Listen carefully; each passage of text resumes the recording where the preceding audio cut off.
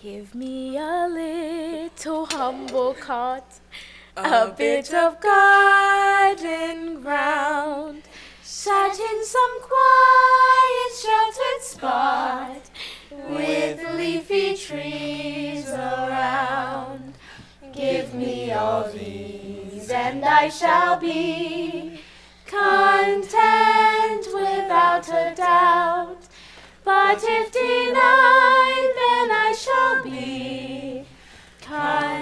to